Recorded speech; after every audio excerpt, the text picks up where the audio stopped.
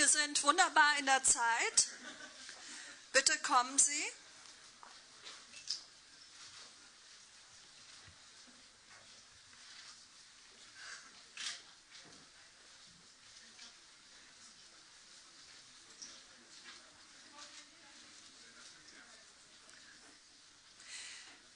Wir machen weiter mit dem letzten Block unseres ersten Teils der Veranstaltung, nämlich die einzelnen Referentinnen und Referenten zu hören. Und dafür bitte ich die Vertreterin unserer vierten Kooperationspartners für diese Veranstaltung, nämlich des British Council. Dafür bitte ich die Julia Rollins auf die Bühne. Sie wird uns unseren vierten Referenten vorstellen, so von Landsfrau zu Landsmann, vermute ich, wenn es stimmt, nämlich nämlich Mr. Richard Stone, der hier ist, wird jetzt vorgestellt und dann wird Sie, Mr. Stone, auf die Bühne. Bitte schön. Danke. So, jetzt kommt der englische Teil. Also ich hoffe, alle haben Kopfhörer. Ähm, yeah, good afternoon. It's my great pleasure to welcome and introduce Dr. Richard Stone this evening on behalf of the British Council. As the UK's international organisation for education and cultural relations, we're delighted to be supporting this event today and to promote a two way dialogue between the UK and Germany. The British Council's purpose is to build trust and understanding between the UK and other countries, and we do this through the exchange of knowledge and ideas. So we're delighted that Richard Stone is with us to share his experience and his views on institutional racism from a British perspective. So, Dr. Richard Stone was on the panels of the Stephen Lawrence inquiry from 1997 to 99 and of the David Bennett inquiry 2003 to 2004 into the death of a black patient in a psychiatric hospital in Norwich. He was pre- previously senior partner in a five doctor group practice in central London. He was also vice chair of the Runnymede Trust. Um, he is president of the Jewish Council for Racial Equality and founder and co chair of Alif Aleph UK, a group of British Muslims and British Jews. Thanks very much for coming, and we look forward to your talk.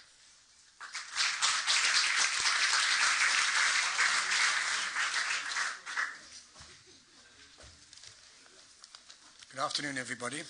Assalamu alaikum. Thank you. I'm Sanim, please could I ask you to tell me when I've had 15 minutes of speaking.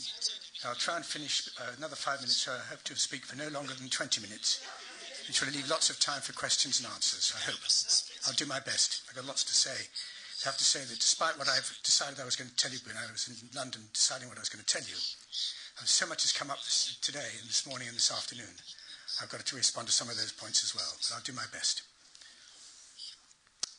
I particularly wanted to thank, incidentally, the TGD, Kenan, Ken and Collett's organization, for inviting me. I mean, he tells me that it's because he heard me his speaking in Berlin in June, that he wanted me to come again. We were talking then at a conference on the uh, NSU and the police at that stage. And then Mekonnen also, incidentally, from the um, well, Mekonnen Men, knows, I think I say remembers me as uh, Alaya Yagani. Are you there, Alaya somewhere? Alaya? Alaya Yagani. Oh, she's moved. Oh, yes, that's right, she's there. So I was here in, in Berlin in 19, 2004 uh, uh, at a conference sponsored by the Heinrich Böll Foundation, Stiftung, for, um, on Islamophobia, which is a very courageous thing, I think, for any foundation to do in 2004, have a conference on Islamophobia. So I was very glad that I also got met old friends here as well. Um, I could go through all the other people who've uh, um, sponsored this organization particularly I'm glad about the Jewish Museum being represented here as well. That's very important. Um, I remember going there with a, a, Muslim woman who represented the British government at an anti-Semitism conference in 2004. She was bowled over by the Jewish Museum. The British Council have been very helpful to me, I must say, in organising, getting me here, actually getting me here and getting me back home again, which has been fantastic. Very important, the British Council. And they've also, anyway, that's enough for the moment. Let's move into things that really matter. Friends, this is a very passionate issue. And I get very emotional about these sorts of things. It's a passionate issue. When you think of the, of the uh, death of Stephen Lawrence, who was murdered by probably five white young men, the, in the same year as in 1993, I gather you've got the Solingen, uh, also similar problems. People murdered by white people. Same sort of problems. 20 years ago, in 1993, Stephen Lawrence was murdered by, five young, by a gang of five young people. Now, five people are involved in a, a joint enterprise in a murder. Only they know who actually stabbed him and killed him. We've got rules in British law that all five of them can be responsible for the murder and can be held up for the murder. But 19 years went by before anybody actually was convicted of that murder. Last, it's in this last year, in 2012, we actually sent two people to prison at long last. The parents of Stephen Lawrence, Nora Neville and Doreen Lawrence, are remarkable people. They fought and year and uh, what am I going to do? What's the problem? You want that out the way, do you? Of course you do. Yes. So sorry. Yes. I get it. Oh, is that better? Ah. So it's getting feedback. I'm getting twice over the translation as well as my voice as well at the same time. For, beg your pardon. My son's here, but he's a bit of a, he's more of a technocrat than I am. I'm a technophobe. The, let me tell you about Mr. and Mrs. Lawrence. They're remarkable people. But there have been a series of, murders of black boys in southeast London, of which his was probably about the third. But his, somehow or another, the Stephen Lawrence case grabbed the headlines, probably because ten days after the murder, Nelson Mandela came to visit London. And Mr. and Mrs. Mandela were encouraged by some of the leaders of the black organizations in London to, to meet with Mandela. Mandela then had a photograph taken with Mandela and Mr. and Mrs. Lawrence, who went hit across all the newspapers in Britain. Mr. Mandela said a terrible thing. he said that it's frightening for me to come to Britain and find in 1993 that the police in Britain, white police in Britain, treat black people in the same way that the police used to treat black people in South Africa when we were having the, anti, uh, the South African regime, the apartheid regime. That actually knocked a lot of British people very seriously between the eyes because we felt he was in effect saying that we were as bad as uh, apartheid South Africa in the treatment of black people in our country. A terrible indictment of our policing. Um, Mr. and Mrs. Man, um, Lawrence went on saying the police were not trying hard enough to kill, they said, get the killers of their son. Within four or five days, they felt the police were not trying hard enough. And they started complaining and complaining and complaining. The police went on for two years saying that everything that could possibly be done has been done. They even had a full review of the actual murder, which actually said that everything could be done. Wonderful, marvelous review. The police are just wonderful.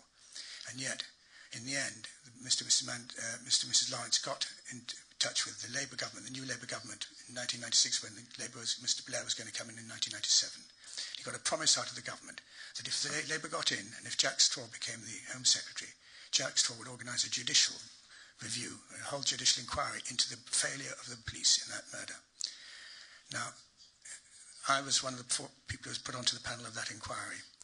The other people, where are we? That's it, thank you. So you can see there's me at the bottom there.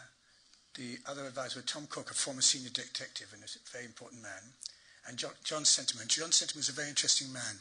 He was a judge in Uganda under Idi Amin, and he had to flee because I said to him, why, why, did you have to go? Why did you have to leave when Idi Amin was there? He said, he's a black, obviously, obviously black, black, black African. He said, oh, he said, because I was locking up all the enemies of, of Idi Amin, putting them into prison. I said, what do you mean you're locking up all the enemies of Idi Amin? He said, yes, to protect them from the army. Huh? Huh? Interesting, then. So he had to flee, and he only just got away with his wife and his life. Came to this country, entered the Church of England, He's now the Archbishop of, Archbishop of York, which is the second in command of the whole of the uh, Church of England, the whole world. Remarkable position for him. He applied for the new job of Archbishop of Canterbury, just became vacant, and he didn't get it. Interesting that too. One wonders about things. One of the things you know, on an inquiry, looking back over this inquiry, there were a lot of odd things that happened. And when you pursue the, into do, like doing investigative journalism on those oddities, you find some very interesting answers. Anyway, let me move on a little bit. As you can see, I was also a, a doctor, and if you see what it says about my doctoring, uh, it's a little bit of a joke there, if you just leave it on the screen a little bit longer then. I do want to come very much to institutional racism, because we actually were forced by the Commissioner of Metropolitan Police to define institutional racism. I argued with the judge, if you get into a definition for institutional racism, people who are in denial, don't want to make the change, will spend hours, if not weeks, if not years, picking over the words. Is this institutional racism? Is that? They'll have a wonderful time picking over the words and not, not actually doing anything. But the Commissioner of Metropolitan Police went into denial. He said, I will not acknowledge institutional racism exists in my police service. Even though the previous week, the Commissioner of Metropolitan Police in Birmingham, he, the chief constable in Birmingham, had said, I acknowledge this institutional racism in my police force, and we're going to make the changes. And so we said to him, couldn't you at least accept the view of your colleague a week ago as a precedent? And you were there, no, he couldn't do it. He just couldn't do it. He said, I need a definition which I can show to my officers and to the public that my, all my officers are not racist. It's interesting, a point came up this morning. Somebody was saying that not all, it doesn't mean that all your people in, the work, in your organization are racist. Crucial thing about institutional racism is, thing is this, that the, the rules of policing in Britain are totally race neutral, but it's how you implement them that you get the problems of institutional racism. Let's move on. It hasn't moved. Ah, that's it. You see, I think that people talk about direct racism, and we know what direct racism is basically. It's racist comments, people show, throw abuse at you, um, or racist assault. So, in other words, you get verbal racism and, and uh, violent racism. We all know what they are about when you have people use offensive words about Muslims or black people or gypsies, whatever it happens to be. Um, but, it also means not being selected for a job when white staff with less experience and less qualifications are promoted by white people over black or Asian or Muslim staff. You know the sort of situation. Is that clear? But we, I think the, what we're dealing, the difficulty I think is, comes when you come to indirect racism or a culture of racism, all of which in a way add up to institutional racism. So I'll come to that in just a moment. I mean, when you get to indirect racism, it's when an organization runs in such a way that, for example, nobody thinks to provide a prayer room if there are a significant number of Muslims in the, in the, in the place, and they would like to have it, but when they do ask for it, they're told, well, I'm sorry, we have not provided, you know, for prayer rooms or facilities for particular minority people who are here. Why should we? But I think it's a courtesy. Um, so also when people employ Orthodox Jews, I'm not an Orthodox Jew myself, I'm a Reformed Jew, which is slightly different. But when people do need to leave early on a Friday afternoon in order to observe the Sabbath on the home on Friday evenings, are a number of, in the East End of London, for example, where, lot, where there have been in the past, there have been a lot of Jewish organizations, a lot of Jewish businesses in, um, what's it called, uh, Petticoat Lane, that sort of place. Then in the, in the times when the Jewish community was there, people would actually close their jobs, close their work on Friday afternoon so the Jewish people could go to home. It's quite difficult to argue that again nowadays. There's a rather small number of Jews in Britain. So it's these sorts of indirect ways in which people can um, affect a group of people and if there's an identifiable group of people to, whom you're providing a second-rate service, then that's, in, that's an indirect sort of racism. It's a culture. Let's come to the real nub of it, which is institutional racism. Oh, the, oh, I just wanted to say on, on, the culture of racism, a good example in the police is the police for many years in Britain had a height minimum, a minimum height. You had to be up to about six foot tall. What is it? I don't know if it is in meters, but taller than me anyway, before you could become a police officer. Then we started recruiting a number of people from our Asian communities. Don't forget the Muslims in Britain are nearly all from the Indian subcontinent. 80% of the Muslims in our country are from the Indian subcontinent, Pakistan, Bangladesh, and India. So, and uh, the, the heights there are really almost ruled out any, officer, any, any people from that community becoming uh, police officers, which I think is unfortunate. And they were taken to an industrial tribunal in the end on a group, on an indirect racism kind of uh, case and they, the case was won. So the police had to abolish the height restriction. And that was terribly important. So you now can have police officers who are shorter than I am. Why not? Um, so then, but that then opened the way to other uh, cases against the police for their restrictions, restrictive practices, such as that people had to wear helmets if you're a police officer in England. You know, with these funny helmets we all have. But what about a man who comes from a Sikh background? He'll only wear a turban.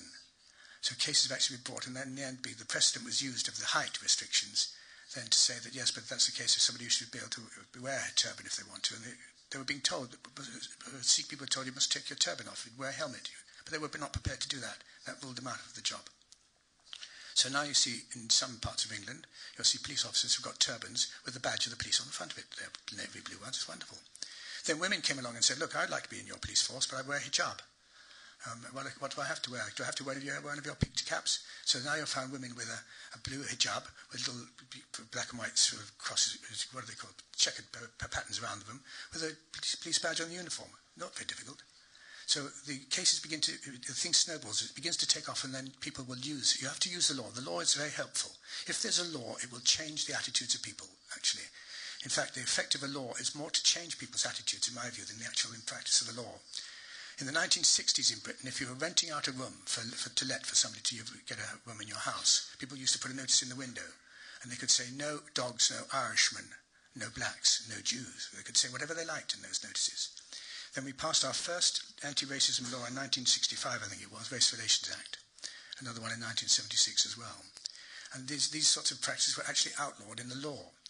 And the result is actually people, hardly any of it, very, few cases ever came against people for doing that anymore because they just stopped doing it. They stopped doing it because there was a law there. If there's a law there, people often observe the law because they know it's there. It becomes, it changes the culture and attitude of people's actually to have a law that tells you what you're doing is wrong. Now, let's take institutional racism. Now, the, what, what, happened with the police, as Mr. and Mrs. Lawrence told you, Mr. Mr. Mr. and Mrs. Lawrence, the parents of Stephen Lawrence, knew that when their son had been murdered by a gang of white people, five white boys, they were, a lot of the same five names were handed into the police and to Mr. and Mrs. Lawrence's house as well. And a week later, a few days later, they said to the police, what are you doing with these five names? We're working on very hard on them. We've got more police officers on this case than any other. But they were not, no, they were quite clear, nothing, they weren't doing anything to follow up the leads drove the Lawrence got more and more angry, more and more angry. And in the end, the police actually had the nerve to blame Mr. and Mrs. Lawrence and their lawyer, who was representing them, for the delays in the uh, and inefficiencies of the police themselves. They said that they'd been bombarded by Mr. and Mrs. Lawrence's lawyer with the demanding of information. When we, in 1989, five years after the murder, started this judicial inquiry, we found that that bombardment consisted of two letters, three faxes, and four telephone calls. That's all because clearly they were not being bombarded, at all. They were just covering up for their own inefficiencies. Now, in the same, just rather the same sort of way that uh, uh, the uh, Mr. and Mrs. Lawrence felt the police were not trying hard enough, I sense I may be wrong. I sense that what's happening with the uh, the uh, NSU and the uh, the people who've been murdered by the NSU since 2007. I sense that I may be wrong. That you would say that maybe the police didn't try hard enough to find the killers in, that, in those circumstances. Is that what the complaint is about? Did they just not try hard to find the killers? I don't know. No, can anybody answer that? Can, you're not, Salem is nodding. Thank you much indeed. Somebody's got to answer me. If I ask for questions, I really mean it. I want you to respond if you please. If you're asleep, I'm sorry. I'll try to sort of wake you up. So I think that there is big parallels between what we had with our inquiry and what I think the uh, problem with the NSU here is happening here as well.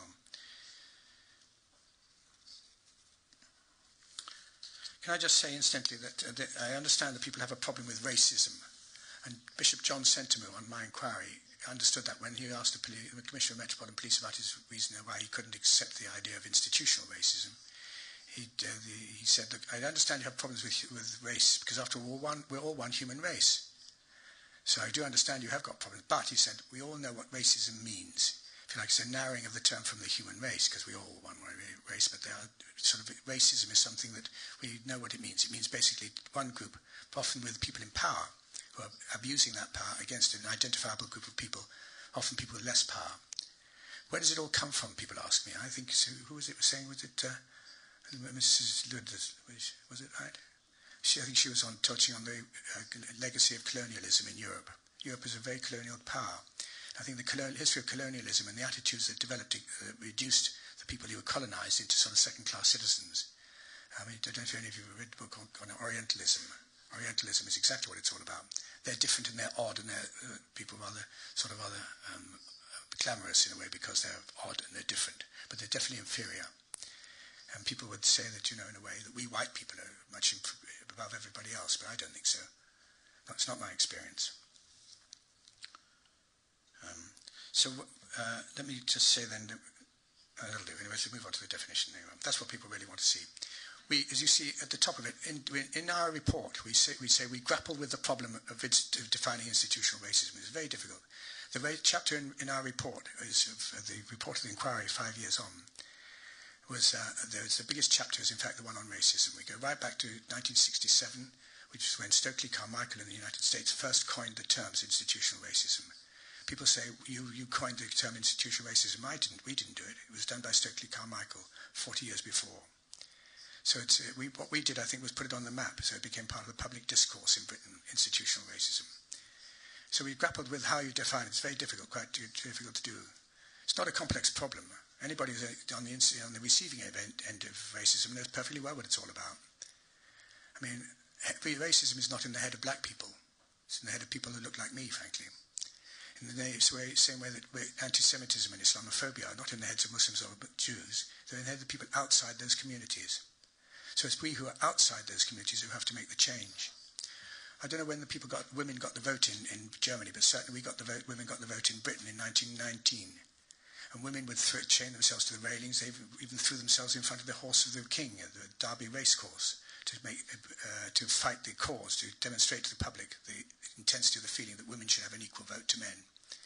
But the women couldn't get the cha- they couldn't do anything themselves. There's a limited amount they could do to, to, to bring the, uh, the problem uh, to the to the eyes of the people in Parliament. They had to change the minds of white men, because the white men were in Parliament in those days. Men were, men, only men could change the vote, voting system because they were the members of Parliament. And they got it through. So the point about it is that if women wanted to get the change and get the vote for themselves, they had to change the minds of men. If black people want to get racism rid of, rid of us, it's not an issue for racism for black people, it's an issue for white people, actually. So I'm glad to see there are some white people here. And the last conference I went to uh, uh, in London a couple of weeks ago on racism, almost everybody in the audience was black. And I felt, I said, where are all the white people? And I got a round of applause for that. Because it was true. If we're going to try to address racism, it's no good speaking to the people who wanted change. It's the people who have got the power to make the change. It's a power relationship, and it's abuse of the power not to do so when people are clamoring at you. And it's an obvious injustice if people don't have the vote or they don't, can't get the jobs they want. I was very taken this morning, incidentally, about the people talking about the first and second generation. In my country, I don't know what it's like here, but my experience of young people who were born and bred in Britain, whose parents made the journey here, or their grandparents made the journey to Britain, to Europe. Their children are fine people. They've made, they've, they've been ed, ed, had education in our schools in England. They've faced discrimination in the schools. They've had to use their elbows to find ways around that discrimination in schools, in the first in the primary schools and the secondary schools. They've faced discrimination in uh, in uh, universities and colleges. They've faced discrimination in work. If they get to the glass ceiling above which you can really get to the big jobs, that's they're fantastic people because they've got so much more talent than other people who haven't had to, have to, develop the sort of tactics those things those people have had to face. I think there's a terrible, a terrible stupidity. Um, Michael Moore, the American, people know that Michael Moore, the American, makes all these films about terrible things that are happening in America. He talks about stupid white men. One of his films is Stupid White Men. Stupid white men don't waste the talent of good people. When I look around here, the people who've got come here from minority communities, people who've reversed what I call the reverse colonization of Europe. People who were the colonies have come here, and they've come and recolonized us. And they're second, they and they're particularly the second and third generation people, obviously highly talented, very uh, enthusiastic, very keen to contribute to the country even first generation, people don't come here to claim benefits. They don't come here because they'd rather not be here. They come here because they want to contribute in some way and do something worthwhile. People who say that they can't, the Turkish people in this country say to me, they, they're told Turkish people aren't as bright or they don't want to work, they don't, really work, they don't want to do proper work. I think. The people who believe that, they're wrong. People don't come to Europe usually from outside Europe. Turkey is technically outside Europe. It's a big political mistake, I think, to do that, to keep them out if people come here from Turkey, they come here usually because they've got a reason for coming here. Well, they, what do they, why would they want to come here? Because they want to get some work. That's what people. And then they go in here and they stay here and they have children. And those children, they, they're, they're, they're still uh, they're still they're, they're Germans. After all, they've been born and bred here. When people, there's a famous story in, in Britain. It's rather like your Kevin stories from this morning, which says Leroy. Leroy is a typical name, if you like, for black people. My, one of my best friends is called Leroy Logan. He's a senior police officer, great guy. But uh, they say Leroy at school. Leroy, where do you come from? He says, from, from, from London, miss. Ah, but where were you born, Leroy? In London, miss. But where did you come from before that? it's so obviously, it's, it, it's right. It's, these are, these are funny stories, but they're terrible indictment of the people who, make, who are on the other, on the, uh, abusing their power. This woman has got no understanding of those people. And I think people are missing out on not only the talents, but also I think the sense of fun. I have to say, as a British Jew, I've spent a number of years working very, 25 years I've been working very closely with Muslims, and I find more fun with British Muslims and British Jews meeting together. You have to be very careful not to be anti-Christian, you understand, of course, but I mean, we'll get around that one. We do have a few jokes I have to tell you between us, but I won't tell you about those till later. But um, no, but it's really a very dynamic relationship. I mean, Muslims and Jews have had their golden ages living together. What are we doing fighting each other in Europe? In the north, where we are in the north cross, northwest corner of Europe, we've all washed up here for all sorts of interesting reasons. My grandfather came here in the 1880s, and I could tell you the story of that too. It's a good story. And my friend, whose father came here too from uh, from Pakistan at the time of partition, where the, uh, Britain left India, to rot, knowing there was going to be real divisions there. But we hadn't had no power left after the end of the Second World War. We'd used up all our all our, our, our men. You know, we had no power at all to control anybody anymore. Had to give up the empire. So when we talk about, we have got so much we could talk about. We've got similar sort of kind of religious backgrounds. We've got so much in common. People quickly get off on the religions and other things. We've got to move on to other things, my wife says. She's got a thing in the definition, yes. So I'll just come to this definition, and I won't, I'll focus on a few of these things. First of all, there's a collective failure. The police in the Stephen Lawrence murder investigation, they, um, they, they, all the decisions they should have made were wrong, or, they, or they didn't even make the decision at all. If and if they did whatever they did, they did they didn't take any notes, or if they did take notes, they lost them. It was quite incredible.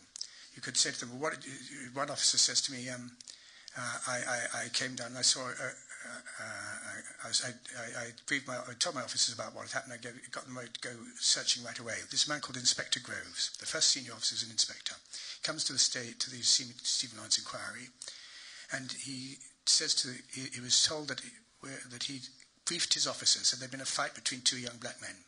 There'd never been a fight between two young black, black, black men.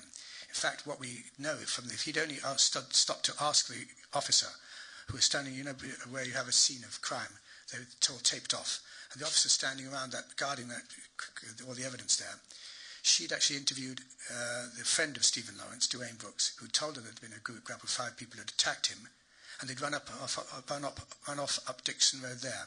This, this inspector comes in with 40 police officers and three police vans. He tells us there's been a fight between two people. They've got to go out and look for evidence of a fight.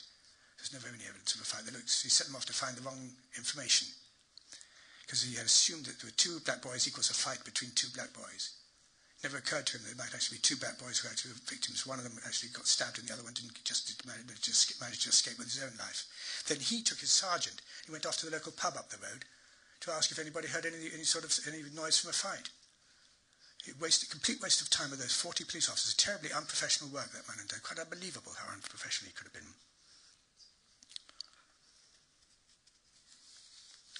So that's the collective. It was a collective failure, and it really was a huge failure, all the way, even right up to the commissioner himself, because he uh, also he did things to which he associated himself with that unprofessionalism. He was saying, apologising to them. They, they, they, uh, when we cross questioned him, he had to apologise to the, the, the Lawrences that he got it wrong. He had to apologise for not apologising before, and reassuring them for five years that he'd done some marvellous work, the police officers, and yet they'd obviously done made a complete and utter shambles of it all. It's unbelievable. It's, appropriate, it's um, a collective failure of an organisation to provide an appropriate and professional service. Very important, appropriate and professional. It's very good guidelines. If you're not sure whether something is appropriate or if it's institutional racism, just ask yourself, is it appropriate and professional to do that? I mean, I discriminated against some of my patients who were Bangladeshi families, homeless families. And I got irritated with them because they kept coming in without appointments like everybody else did. But they couldn't do that because they had no they, had, they weren't registered it was terrible. They, were, they should be living in the hotels. And I was clearly trying to get them out because I had patients with appointments. And I was getting it, but I had no right to do that because they need special, they had more needs than my ordinary patients. So I had to then spend less time with some of my ordinary patients who were on my list and more time with them, find ways to do that. And then I felt better at night because I was sleeping in bed better at night because I'd actually given a properly professional, special professional um, uh, course of action for the patients who most needed my care. They needed more time, not less. It can be seen or heard, or because of their colour, culture, or ethnic origin, that's straightforward. It can be seen and detected in processes, attitudes, and behaviour which amount to discrimination through unwitting prejudice, that's important, ignorance, thoughtlessness, and most important, racist stereotyping. I said to the judge one morning, it's all very well putting in unwitting prejudice. But I think that's terrible. Uh, people, some of the police officers sometimes they know what they're doing. They're witting, if you like. There's no such word in the English language. But if they knew what they were doing, they knew what they were doing. He said, I think you're right, but on the other hand, he said, said to me, look, yesterday you wanted racist stereotyping, I want unwitting prejudice today. So I said, so, well, I, that was it. So we got unwitting prejudice, which I don't think I'm happy with, but I'm happy with racist stereotyping. I get attacked by people when I have a speak in public in England. Black people in the audience say, but what's this always unwitting prejudice? They know what they're doing. And then I told them this story about the, the barter with the judge in order to get actually get racist stereotyping in. He said, you're quite right and they, they, they, they accepted that having unwitting prejudice is actually a reasonable compromise because racist stereotyping is so important. We've heard about stereotyping this morning. And it's really, that man, Inspector Groves, is a typical example of stereotyping. How am I doing for time? How am I doing for time? How much have I had so far? Five more minutes? Okay, I'll try and come to the, come to the point a little bit more. And the, but the ultimate thing of all this thing is, it, whatever happens, it, it, it, ends up disadvantaging minority ethnic people. That's black people in our. It's a euphemism we use for for black people. So, if we're dis, that'll do. I think from there we'll leave that for the moment. Now, I think what we've got to do is in, enough of this business sort of, um, uh, oh, we've, you know, we've done wonderful things in the police or any other service. We've done wonderful things to change things. Oh, no, you haven't. Oh, yes, we have. Oh, no, we haven't. That sort of business. So that's, a waste of time. I think what we have to do is to seek out examples of people who actually did it, where they've done it. I've been about four or five I've done, which I put into a report in 10 years on, of where, where people have made the change. And we need to use those examples to, to get other people to do it as well. If, if one police officer in Birmingham could have connected with his minority communities in such a way that he actually operated when he had to do a, a, an arrest for um, suspected terrorists. Instead of doing the usual dawn raid of taping off and uh, emptying the families out, coming in with, with armed police, he asked his independent, uh, some people from the communities. He said to them, uh, "What do I have to do to arrest these people. They said, don't do all the usual business. It creates huge animosity, animosity, amongst, animosity amongst the Muslim communities, our local communities. Just do, do us a favour, tell us the names of the families. So he told them the names of the families. He said, you won't tell anybody. Of course, they wouldn't tell anybody, and they didn't. Then he says, um, uh, what do you advise we do then? He said, well, what are the, do we know those families you mentioned? Do you, which of the children are doing it? He said, and he gave the name of the two young men, and they said, well, we know those, those boys anyway.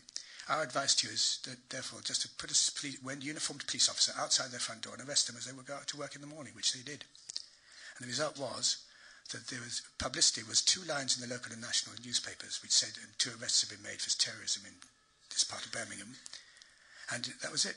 No fuss, nothing at all. The word got round the Muslim communities very very quickly. They, then, as a result of what they found from these two young men, they had to increase the stop and search. You know about stop and search you know, people who could stop and search people, uh, ordinary citizens, police can do that. They increase the stop and search, and that nearly always ends up in trust and confidence in the police going down. This time did, as a result of the stop, increasing stop and search, actually the trust and confidence went up. It was a measurable outcome that showed that his, his trust of the local Muslim communities, treating them as proper equal citizens rather than as inferior people, worked. Crucially important. So that's one of my favourite stories I have to tell you if it was happened as a result of defining institutional racism, people working on it. So I think what are we going to do? That's one of the things you can do. See? Yes. This is the most important thing of all. I think you have to work out, try and find, if you want to do something about all this, you have to find measurable outcomes that will measure what people are actually doing. And I think the obvious place people think always is that what, how do we serve our public? And we, in Britain, we are actually monitoring stop and search. How many stops and search? And we, we're monitoring it by racial profiling as well. It worries me immensely doing racial profiling. It's very similar to what the Nazis did to the Jews. Obviously, so as a Jew, as I feel very concerned about it. But also, I think it's very offensive to many black and Asian people in our country as well, to be profiled. But on the other hand, it does provide the information that you can compare the disparities in stop and search in one area to compare to the number of people in the population. So we can say that in an area where there are 20% of, of Muslim or, Jew, or black people, and we're stopping 40% of black and Asian kids, that's obviously wrong. But if there are 20% of young people, people in the community of that and we're stopping the same amount of people, that's not too bad. But the disparities are terrible. Because in England, we find, in Britain, for years we've been, been able to measure that in 1999, at the end of our inquiry, you were four to six times more likely to be stopped by the police if you're black than white. By the time 10 years had gone on, unfortunately, it doubled. By that time, it had become four, 12, what is eight, eight to 12 times. I'm told now in this present year, in 12, 2012, the statistics are showing 21 times more likely to be stopped if you're black than white. There's a famous time in London where we had some London bombings. The Irish bombed, uh, threw a bomb at the Bank of England. It caused devastation. And then the police put a, a ring of steel around what they call a ring of steel around London. Everybody going, coming into the centre of London, to the city of London, they had to be stopped by the police and they could be checked, and particularly motor cars and vans. And when it mentioned, mentioned disparities, four to five times more likely to be stopped if you're a black driver than if you're a white driver. And how many, how many black Irish terrorists are there? So it's ludicrous, you say, but these ludicrous things, they matter very much. It's quite clear that I'm afraid the police officers are very often stopping people just because they're black. There's a well-known offence in New York, I'm told, about being stopped, be, stopped while being black, not being stopped while being, you know, a threat or anything, stopped while being black. A young man told me in London, he got off the bus at three, 2 o'clock in the morning, he'd been to his uncle's birthday party, and he was just walking across the road into his estate, and he was stopped by four police officers. And he said, because he was a bright spark, he knew that he could ask for a reason. They said, oh, well, there's been a burglary locally of a black guy, and the, you, you answer the description. So he says, uh, really? Tell me, what was that? He said, oh, you mean there's a black guy? He said, clothes as well. He said, that's right. So you mean there's a black guy who's done a robbery at 2 o'clock in the morning wearing a bright yellow tracksuit? Well, it's ludicrous, isn't it? Who does a robbery in a bright yellow tracksuit? Clearly they just stopped him to have a bit of fun. Another young black man told me last week, he said to me, he said, Dr. Stone, when they stop me, stopping me all the time, they know, they, none of them know me because they've often stopped me several times before and they know I'm always clean every time they stop me. And yet, he says, um, they're stopping me, uh, I've lost the track of the story, help. I've lost it, where did they stop me? Let's come back, maybe I'll come back then another time. I think we, sorry, but I just do want to make? All right. Just want to say employment. Don't forget that in employment is a good measure of, probably a better measure than anything else, of uh, your uh, capacity to be open towards people from minority backgrounds and your capacity for delivering a service which is relevant. I mean, I said mentioned this, senior police officer called Leroy Logan, who's so good that I actually put him on my family, family's grant-making charitable trust. A very good, very, very wonderful, good man.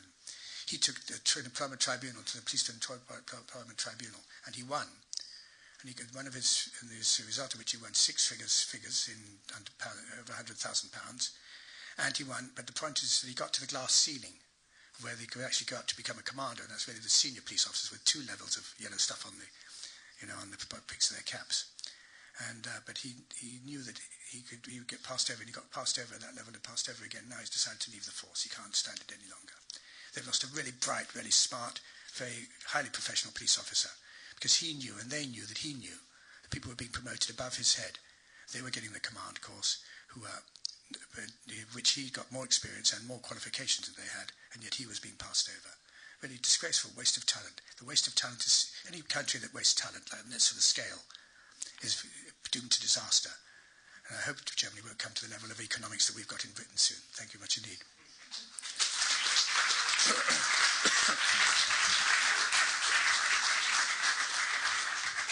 Ja, ganz herzlichen Dank. Ähm, wir haben jetzt auch Zeit, nochmal Nachfragen hier anzunehmen.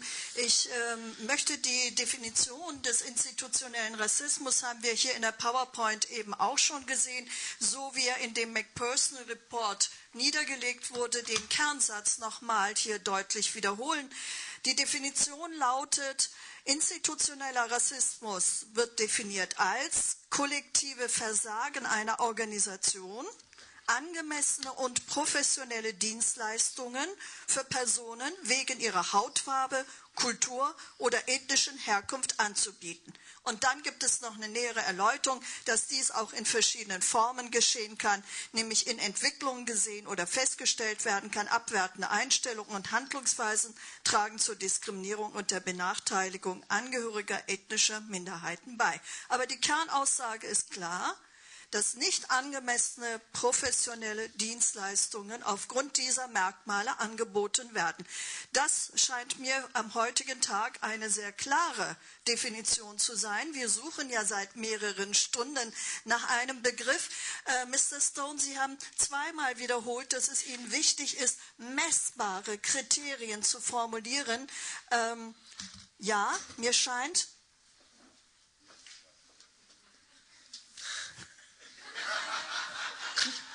Alles wieder da.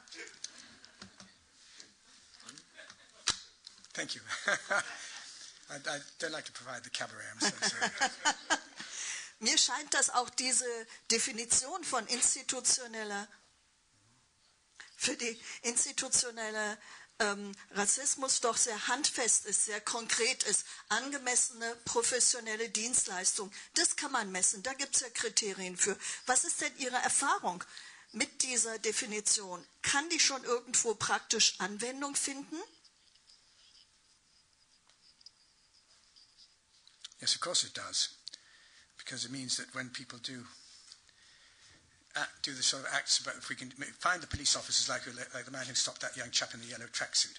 If we can monitor that and start monitor the stop and search. One of our recommendations was um, to recommendation 61, incidentally, was that that uh, when, when, any police officer stops anybody, you should have to give a, a little record of the stop. That's all, and a little slip of paper that's no bigger than that, which has the name of the person who stopped, the number of the police officer on his, his, his number so you can identify him or her, and also the self-identified uh, ethnic group that they come from. I can say I'm black or white or whatever it is I want to say, or Asian or whatever it is, or whatever, or any mixture or anything like that. But anyway, it's self-identified.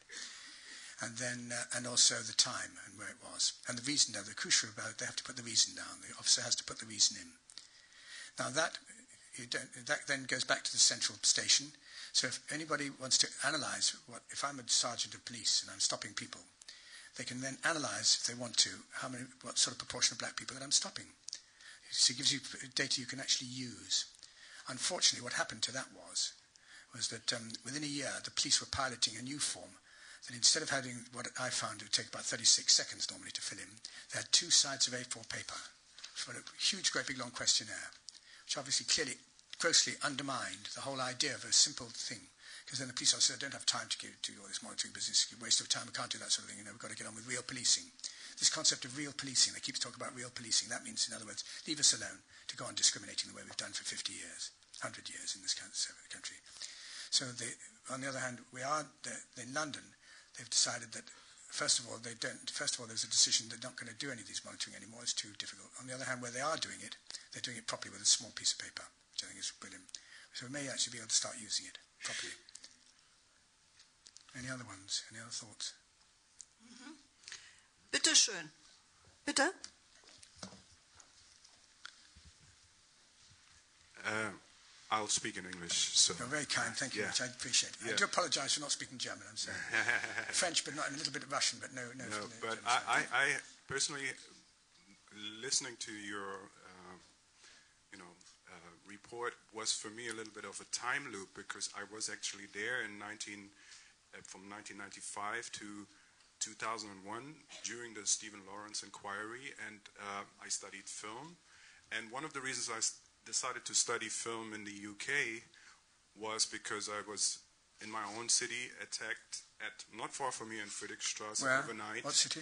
Uh, by some hooligans uh, at night. So I mm. decided maybe Berlin post-war unification trauma is not the right place for me. So I went to the UK, studied there, and uh, I remember very clearly the time during the Stephen Lawrence inquiry. There was a lot of demonstrations and protests, and um, we, as black film students at that time, were very much empowered by what was going on. We thought Britain was like, you know, moving ahead, setting an yes. example, you know, doing something. Maybe Europe can lead. And then you, you just told me that it took until this year or last year that the true arrests were made of the, you know, suspects yeah. that, that attacked the two boys. And now we have our own traumatic ev event in, in, you know, in Germany. So how is that for you? How do you feel that your work, how, how have you felt your contribution has changed British society and, and, and your impact in maybe defining institutional racism has set an example. Because I remember we, we were very much optimistic during that time in 2000 that now British society is open up, is, is changing things. And uh, my graduation film at that time was about police and death. Uh, I mean, death and police custody about a black young Muslim boy that loses his father in, in and I remember that the, the director of the school said this is too taboo. We can't do that. I'm going to get trouble with so he was he was afraid that in my graduation film I'm, I'm talking about that subject. Do you think now after the london riots that your work has made an impact that, that you have or the inquiry and what you have done has changed something well, I must say, I rather imagined after this huge inquiry, I might say the publicity for this inquiry, every day there was new revelations about the incompetence of the police and the terrible attitudes of the police towards black people. The headlines all over the place, day, day after day on television and radio for nearly six months of our hearings. quite amazing. And it went on for the next year or two, and it still hits. The funny thing about it is the police officers who are in denial, senior police officers in particular, if they're in denial, then they, they just find it explodes in their faces. It's an issue that never goes away. So I think I rather hope that, you know, imagine after all that huge amount of effort and a tremendous amount of quite stressful stuff within the inquiry, within a wee year or so, things will be much, much better.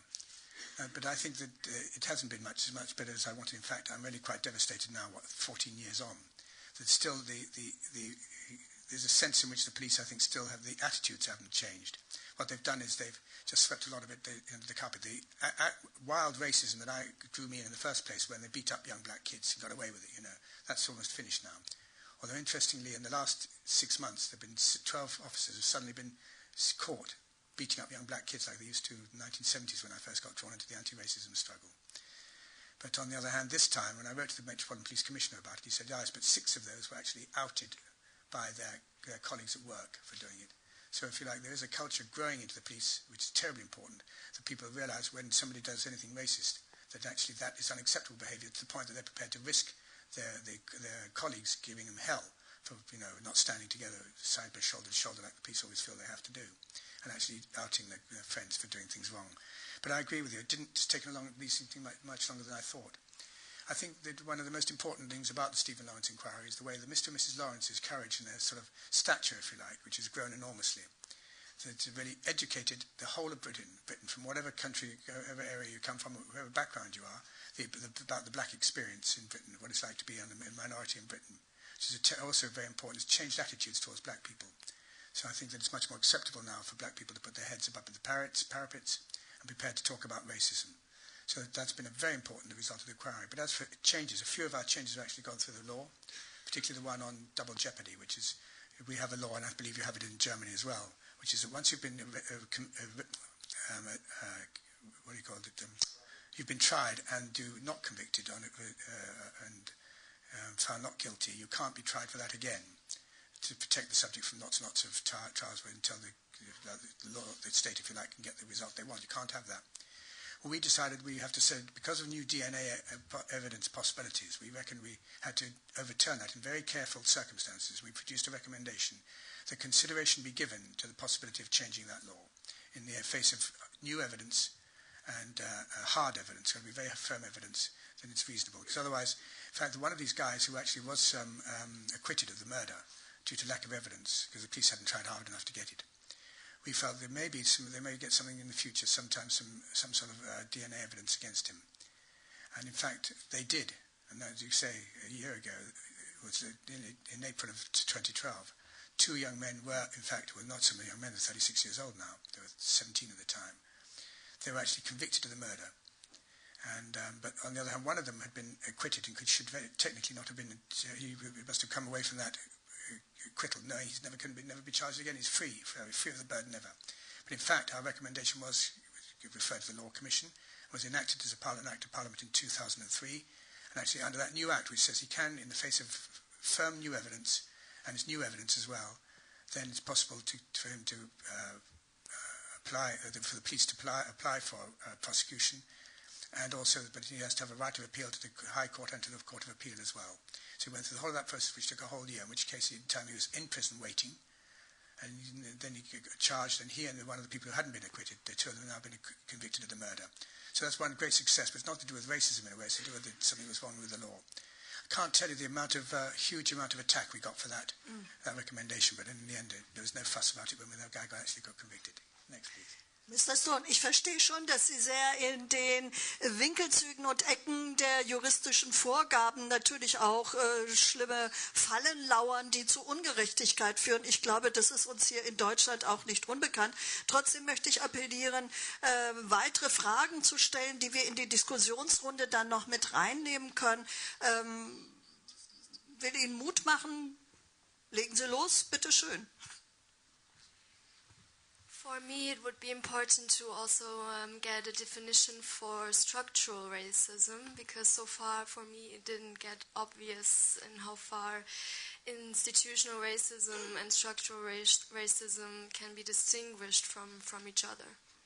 I don't know what structural racism is. Oddly enough, it's not a term that I use. Okay. So when I, I heard it being used this morning, I thought I would ask some of your professors yeah, what maybe you're sorry. Maybe you're the wrong one to ask, but maybe we can um, discuss it later.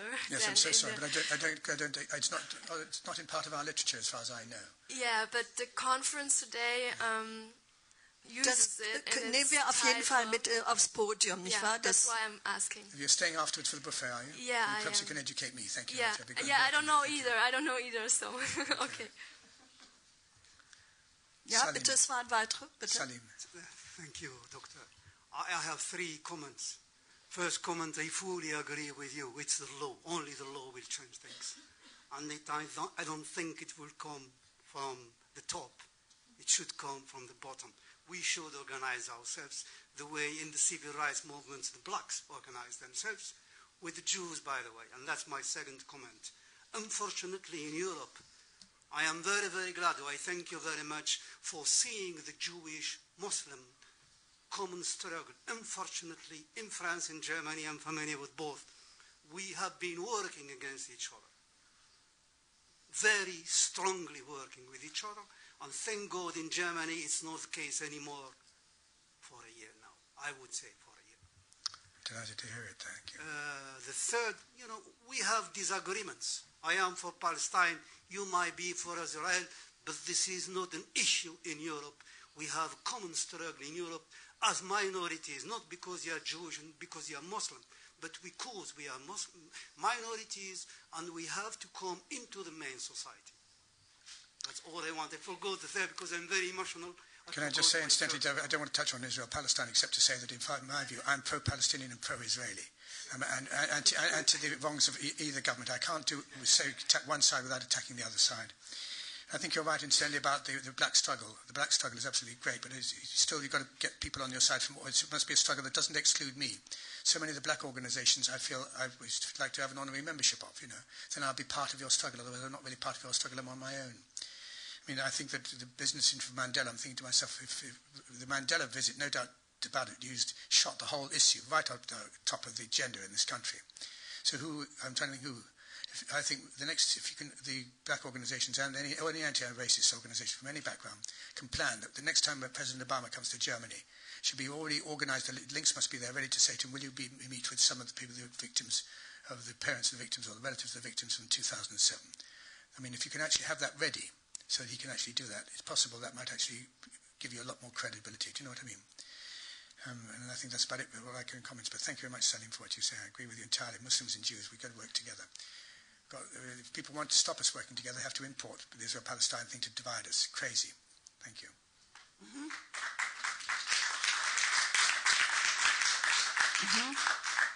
Den Satz merken wir uns. Pro Palästina, pro Israel in einem Atemzug. Das halten wir fest als äh, einen wichtigen Satz des heutigen Abends. Ähm, ein Punkt ist nur bei Ihnen in Ihrem Vortrag vorgekommen. Sie haben das erste Mal über Macht gesprochen. Und Sie haben gesagt, wenn wir über institutionellen Rassismus sprechen und den auch beseitigen wollen, dann müssen wir mit denen, die mächtig sind und diese Ausgrenzung umsetzen können, weil sie an der Macht sind, mit denen müssen wir verhandeln sozusagen. Wir können ja nicht an denen vorbei, die die Macht in ihren Händen halten, eine Lösung finden. Und an dem Punkt gibt es ja unterschiedliche Sichtweisen. Die einen sagen, nö, genau eben nicht mit Vertretern der Mehrheitsgesellschaft, kontra. Die anderen sagen, ja, doch mitgehen, werden von denen wiederum beschuldigt, als zu soft mit den Tätern sozusagen umzugehen. Was ist Ihre Position dazu?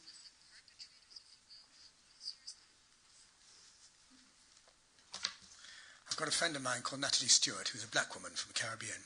She's a fearsome woman. And she says to police, officers, senior police officers, she's got them frightened, really frightened. She phones up and says, I want to see, meet, see the Commissioner of Metropolitan Police. Who is that? Natalie. Yeah, right, right, right, next week, you know. I try and get an appointment. It takes me three months to get an appointment with the Commissioner of Metropolitan Police. Natalie Stewart says to police officers, look, it's all very well, but this equality business is not negotiable, he says. You've just got to do it. You've got to change, you know. And I haven't got the courage to say that sometimes, but she does. She's remarkable. I think we need to remind people there are certain things that are non-negotiable. Justice is non-negotiable, absolutely justice. And also the, the business case for, as I said to you before, about wasting talent.